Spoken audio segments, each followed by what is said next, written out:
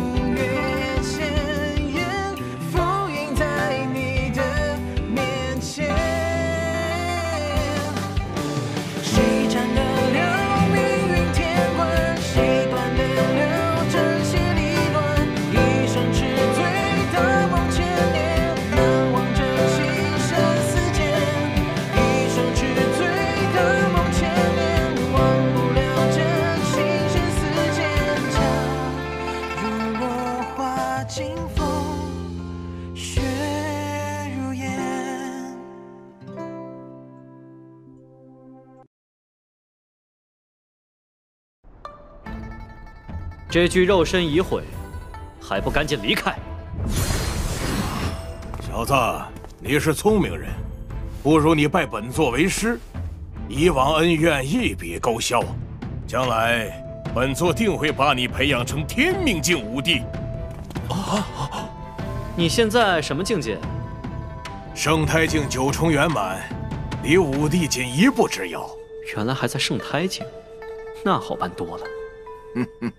是我后世先对不起你，叛宗之事，本座可以既往不咎，但是黄景川不行。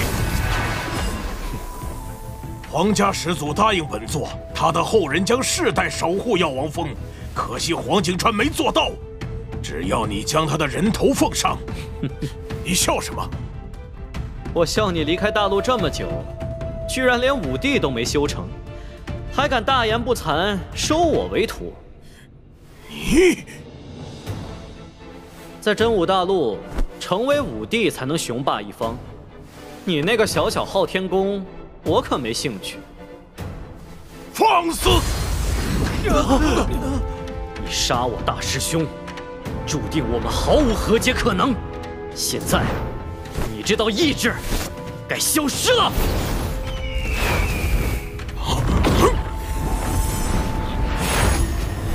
本座定要将你碎尸万段！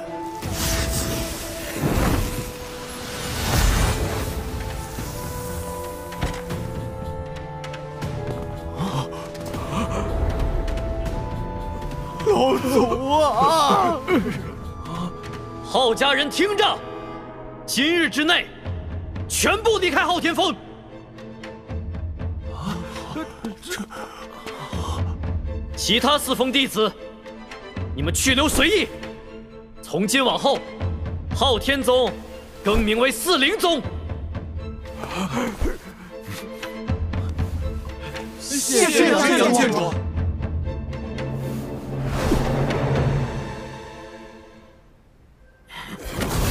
岂有此理！师尊，不知天高地厚的东西，竟敢灭我圣意，断我传承！我定要他死无葬身之地！何人敢如此大胆？就是那个聂风，你们袁家也有武王栽在他手里。聂风是真阳之体，如果放任不管，又会是一个蓝道真。必须尽早诛杀，免除后患。眼下哪位圣者有闲？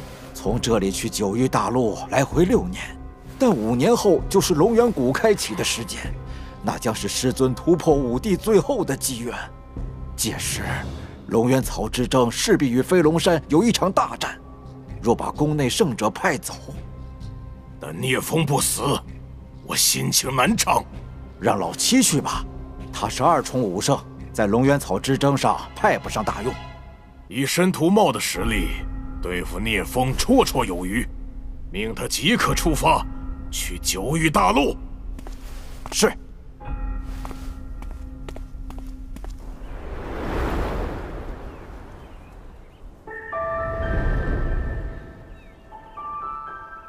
若冰怎么还没回来会不会出事了？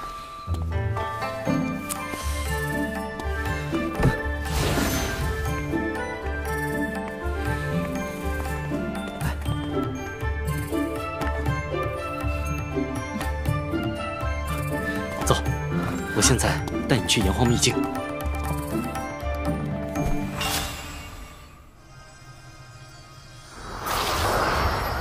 若冰，把手给我。好。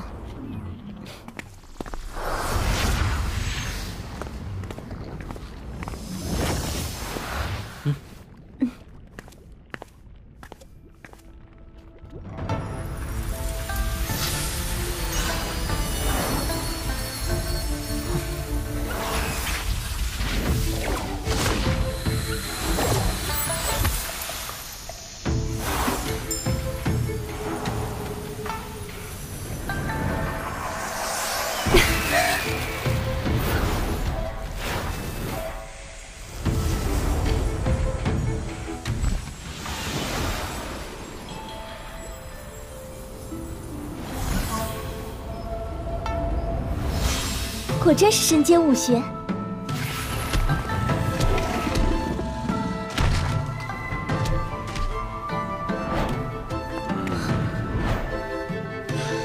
不错呀，又是一个和你绝配的双修之体。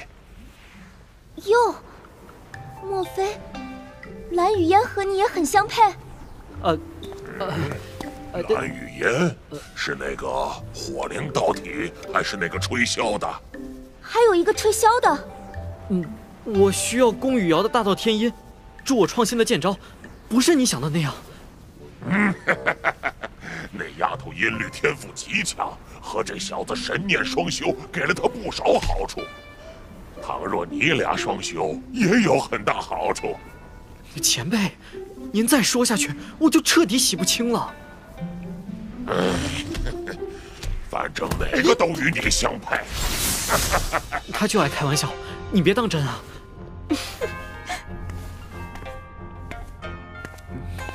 好啦，咱们这么久没见，你快跟我说说这几个月发生的事。好。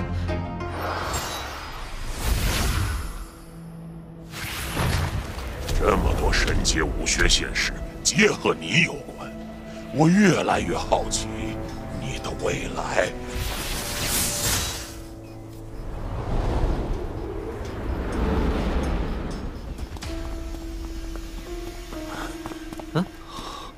天元宗被灭门了。天元宗上有一位武王，怎会突然灭门？听说是一头百丈黑蛟，应该是海域妖王。海域妖族如此卑鄙，我又怎能坐视不理？大家好，这里是小影看国漫第三期，今天给大家带来的作品是《九尘风云录》。呦喂，这杨少爷还没出现盗魂，不着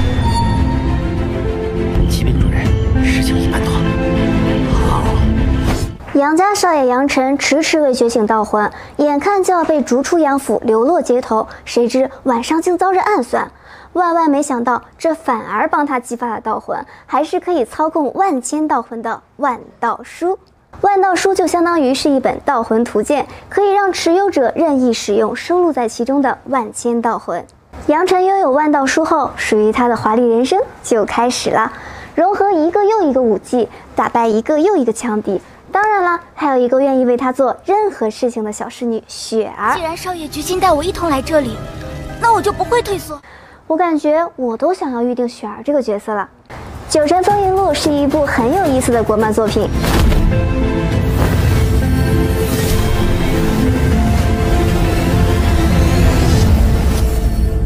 大家快来一起和小影追国漫吧！